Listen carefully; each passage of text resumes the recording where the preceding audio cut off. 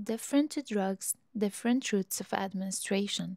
Some you swallow, some go straight into your vein, and some, well, into less pleasant places. Let's break them down so you'll never mix them up again. The routes of drug administration can be classified into local or systematic routes. Starting with the systematic, the routes are further divided into parenteral routes, including the four main types of injections where the drug bypasses the GI tract entirely, or enteral, in which the drug passes the gastrointestinal tract. The enteral route, as we just said, the drug goes through the digestive tract. It includes the most common route, which is oral route of administration, also known as PO. The drugs are swallowed entirely as capsules, liquids, or tablets. The second enteral route is rectally, in which the drug are inserted into the rectum as suppositories, enemas, creams, or ointments. Now, the parenteral route bypasses the GI tract and the drug is given either intravenously, intramuscularly, subcutaneously, or intradermally. I have a separate video explaining these four injection type in details. Check it out.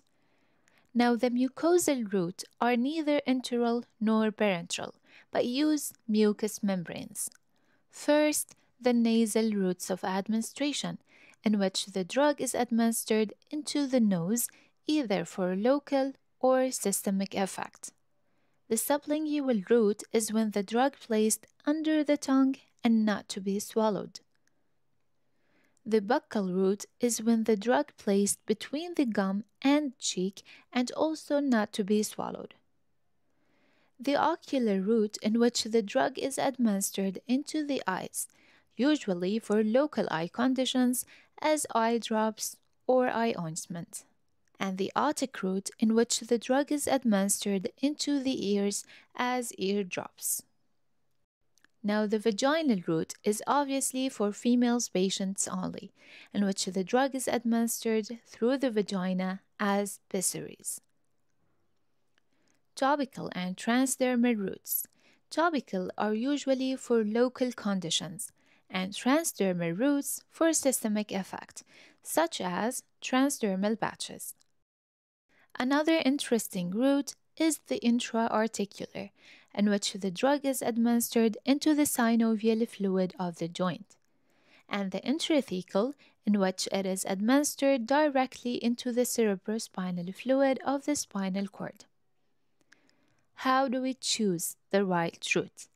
Choosing the route mainly starts with the drug itself, its solubility, either in water or lipid, and whether ionized, carrying a negative or a positive charge.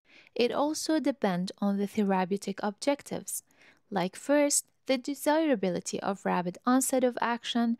In such cases, we might administer the drug through the veins to ensure the rapid onset. Second, the desirability of systemic or local effect.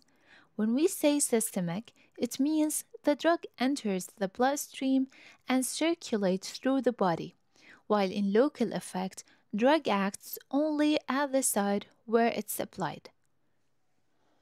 Alright, time for a quick quiz. Let's see if you were paying attention. Question number one. A patient is given a drug that must act only on the skin where it's applied. Which route is most appropriate? A, B, C, or D? Question number two. Which of the following routes bypasses the gastrointestinal tract but is not considered parenteral? A, B, C, or D? If you learned something cool today, smash that like button and hit subscribe for more bite sized medical lessons. Drop your answers and questions in the comments. Until next time, stay curious.